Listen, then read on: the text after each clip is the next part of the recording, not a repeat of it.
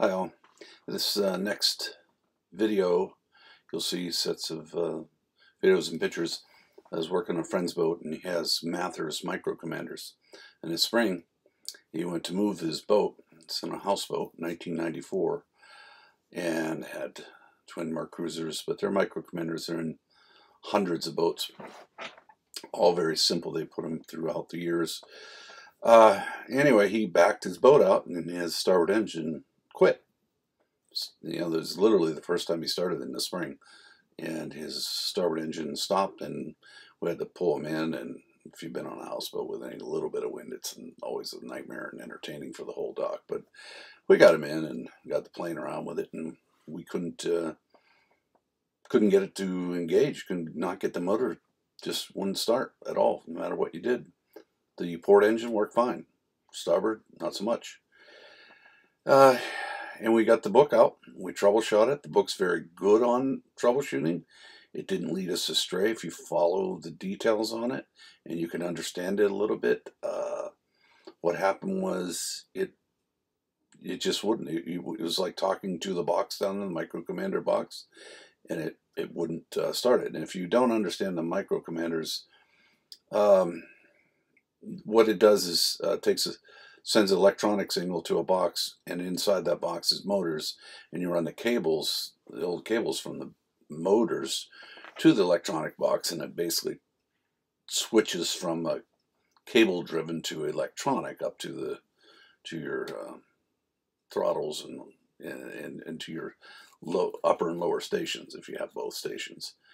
Anyway, uh, they're very very cool to have. They're very nice. They're when they break, they're always head scratcher. Um, but we did the troubleshooting, had the box going, and all it would do is click. It sounded like it wanted to work. You could hear it like like you turn the keys on, and it like it went through its little uh, diagnostics before it allowed you to start, and just wouldn't. You didn't get the lights. You didn't get anything that that you needed. And in the video, you'll see a little bit of it. Uh, I also reference the place where he sent the box to get repaired. Highly recommend. Whenever we he got the uh, box back, we had to connect everything up, and uh, part of that uh, fee was they would help you connect it and troubleshoot it because obviously they can't fly all, all over the country to do this. Um, but they're very knowledge, extremely knowledgeable. They knew exactly what it was like. They were there, and um, we uh, hooked everything up and put the box in, hooked everything up took a couple hours, and then uh, them taking us through how to do the final rigging was a, probably another mm, half hour, 45 minute stops, and um, off we go. But um, if you can follow this, uh, you can bypass this in an emergency and you to know that it's the box. And then the book tells you how to do it, and it'll tell you, you to disconnect it. And you literally bypass the box, and if the motor starts, you know it's in the box. And when we sent it out, sure enough, somebody had sprayed lithium grease all through there. This is what he said, and it ruined the motors uh, down below. And that was wasn't him; it was previous owner. So whoever did it uh, attempted to repair, and it failed miserably. And and uh, it's not cheap, but uh, having uh, uh, the comfort of having the things work when they they need to is very refreshing, and that cost gets real low whenever you uh, understand what those shifters are actually doing. So anyway, uh, enjoy the video. If you have any comments, let me know. And um, again, uh, we just did basically the remove and install. Uh, the company in the that I reference in the video are very helpful. If you have any problems, that's where you turn to. Mine is just to show you just a visual aid. So good luck. Bye-bye. Port engine.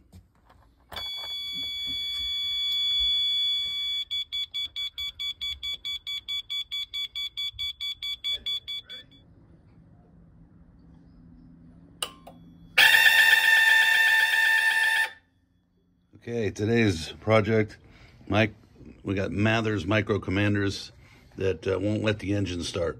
If we disconnect the cables, the engine starts. Once we jump the uh, electronics in that box. So we talked to some people and they said to take off these cables. That's probably our problem. and then we're going to send that box in and see if it uh, what fixes it. Well, I want to do a follow-up on a video I started. Uh, this is a um, video on uh, Mathers micro commanders. Uh, a lot of lots and lots and lots of boats had these, and what they are is they're, they're electronical box that takes, takes a, a mechanical cable system and turns it into electrical for the the controls of the boat. It's very, very, very nice. They're put on many, many, many boats for many, many, many years. This is a 94 vintage. Uh, the problem was in the previous video, this would not shift. It was clicking. Uh, and the this what we discovered in the troubleshooting. The troubleshooting book is quite good if you have one.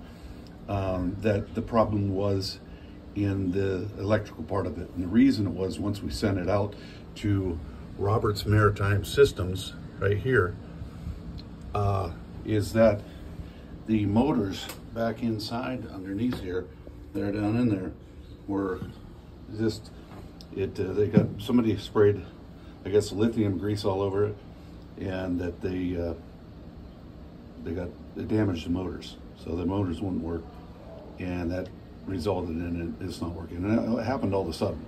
So uh, it was working and didn't work. Uh, what it is, is you have electronic, you have 12 volt coming in. If you see the wires coming in on the top and bottom, 12 volt systems, and then all those other wires are the controls that are, inputted. Now, I'm not going to go into detail on all the other stuff, but the other cables in the backside there, and one is for throttle, and one is a shift. And those cables wrap all the way to the motors, and they go back to here. You've got your throttle cable on this side and your shift cable on this side. And we changed with new shift cables, we put new ones in it. Uh, and also we sent that box out to get it done. I'm not gonna say how much it costs. You guys can uh, call those guys, but they're very, very knowledgeable. Uh, Bob that was there, was he was extremely helpful, knew exactly what he was doing. Highly recommend him. Uh, what we what he did, we sent this box out to him. He repaired it, sent it back to us with new cables, installed the cables, and the cables get installed.